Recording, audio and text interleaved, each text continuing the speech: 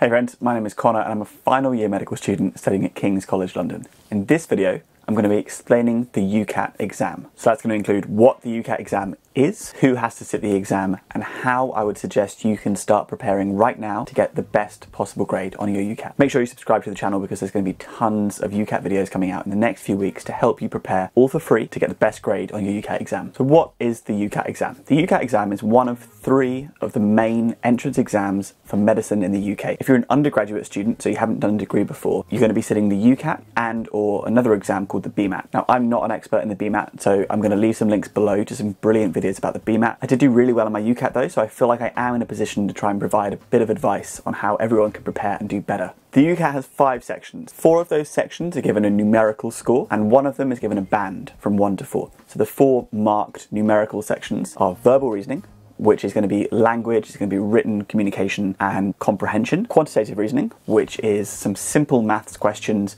normally based on a graph or some data in a chart. Decision making, which is a bit of a weird one. Decision making is kind of logical thinking and deduction. And then abstract reasoning, which is pattern recognition. That fifth section, which is given a band, that's called the situational judgment test. And the situational judgment test is part ethics exam, part logical thinking about what you might do in different scenarios. Now, the UCAT is probably the most important of the two entrance exams that you could sit as an undergrad student because it's got the most universities that accept it. Now, there's too many for me to list, so I'm just going to put them up on the screen now, and you can have a look now and see if any of these are ones you're thinking of applying to. Different universities use the UCAT in different ways, so some might just set a cutoff and say everyone above this grade will be considered for an interview, whereas some universities might rank people based on their UCAT score.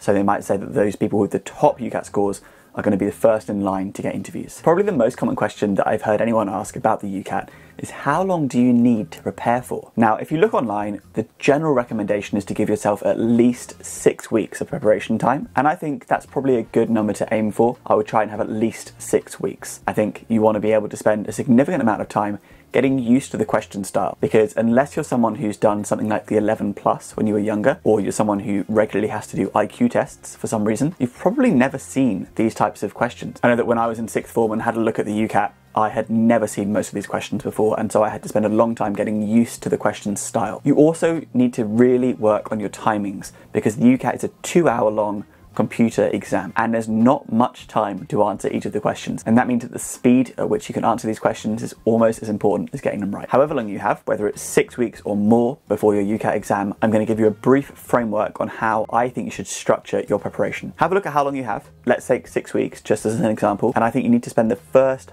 half of that time getting used to the questions. Expose yourself to every single possible question style and do as many as you can. And at this point, what you're trying to focus on is one, working out what each different question is asking you so that you can answer, and then two, it's your accuracy. So you want to spend the first half of the time trying to get as many questions right as possible. Now, that's not to say that in the second half of your time you don't want to get questions right, but the more important thing for that second half is speed. The most important thing overall is volume, and I can't stress this enough.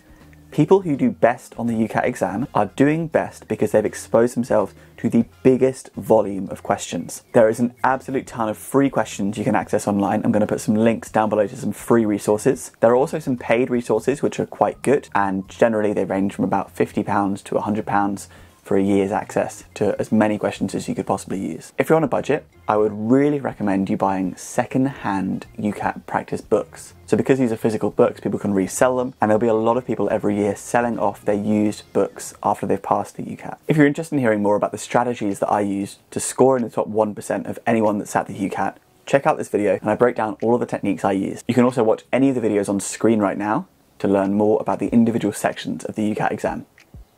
To everyone watching, good luck. Remember to subscribe and like the video. Let me know below if there's anything else you want to hear about the UCAT exam.